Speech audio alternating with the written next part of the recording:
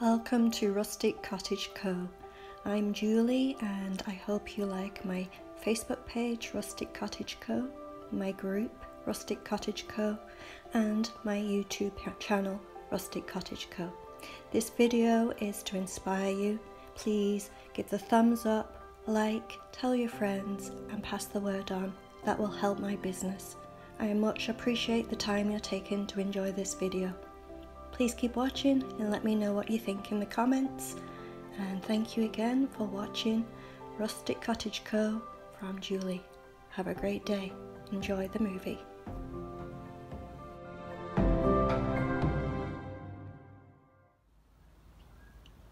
So I've got the first coat on, the undercoat, which is the charcoal grey. And I still have to take this door off. I haven't taken it off yet um, but I will get on with that soon.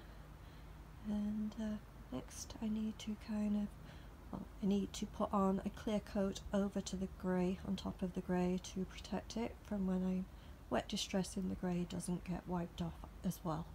So that's what I'll be doing next. Last night I put the clear coat on top of the dark charcoal grey and let it dry overnight and today I have put the first coat of the white on. And I'll let that dry and see how long it takes to dry. Probably not long today. It's a hot day but we'll see. Um, if we can get the second coat on today or wait until on Monday because it's Saturday today. So it's coming along nicely. First coat always gets slapped on and then the second coat is a little more precise So I've got the second coat on this piece. It will obviously, I usually do the two full coats and then the third coat is a touch-up one, which I will be doing. And the reason for that is you get areas like say here, that obviously it just went so thin and you need to do a touch-up. So that will be done and then I will be working on putting some wood in the door putting some feet on to raise a little. And uh, I have to also wet distress back. But it's getting there. It's getting it's looking good. It's going to be very similar to what I did um, a month or so ago um, which did really well. And this one I think will be very similar. So this piece is looking good. I have now had uh, my friend put the pieces of wood on the door. Now this is not pallet wood, this is from some really beautiful old chairs that unfortunately were broken and were not strong enough to actually you know remake as chairs. But the wood on them was just beautiful color beautiful texture. So I've been using the pieces from the chairs four different chairs in some of the pieces I've been doing recently mostly in the feet, but also just putting it in different pieces. And these doors have wood from those chairs, and I think it looks beautiful.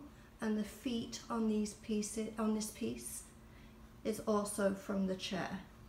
Now this piece now needs some sanding in places that the uh, paint is a little too thick and it also needs touching up in places where the paint is a little too thin Got some holes that need filling and painting over and then we'll do some wet distressing.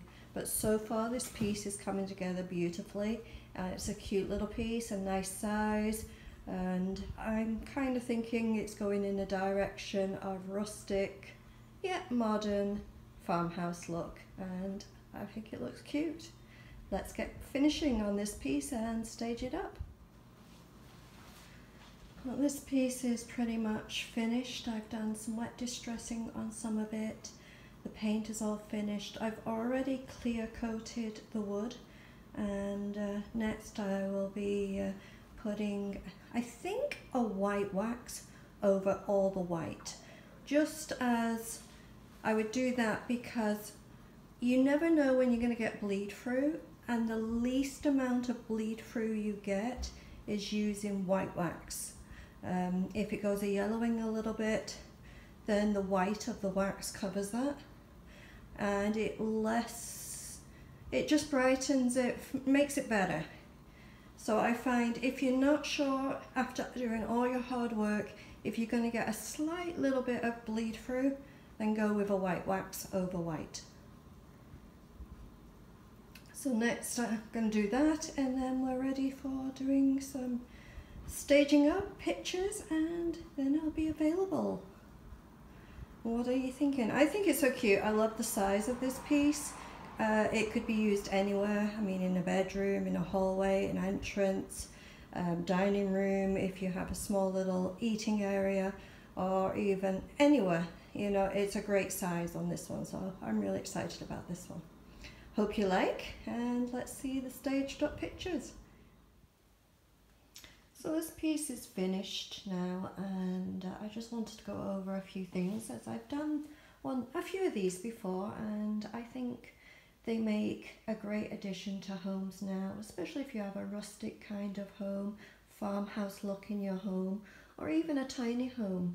Splitting up a hutch, I find taking the top off and making it separate to a different piece of furniture and then having the bottom of the actual hutch um, as another piece of furniture gives people a smaller piece to put in their homes. So this being that this is the bottom of an old hutch and transformed into a single buffet for a smaller home and I will show you the actual top part of the hutch over here which is now a separate piece of furniture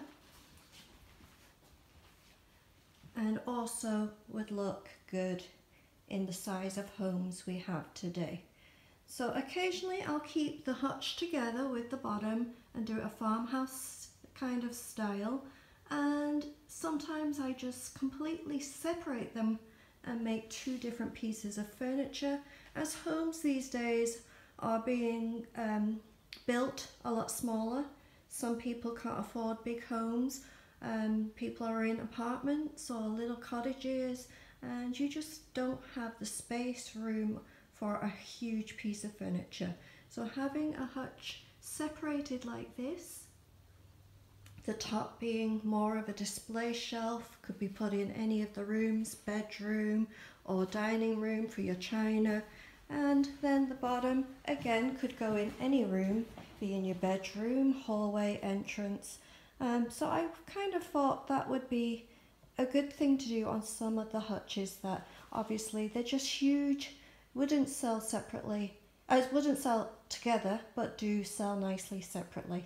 And if someone actually does like the two pieces you can always put it back on top and you've got the whole piece so that's why I kind of do this look and as I've said on this particular piece I did not use um, the uh, pallet wood. I actually used a very old chair and just the colouring of the wood of this chair I find is absolutely beautiful and just gives texture and tone contrast to the white of this piece I just love the look of this and obviously we'll be doing more and more of them but not just this kind of style even though I think it comes out beautiful especially when I do the wet distress around it. I think it brings it out nicely. What do you think? Give it the thumbs up and uh, tell everyone about the channel. And there's more videos to watch. Go look back at some of my old videos. I have furniture crafts and more Please enjoy and thank you for watching.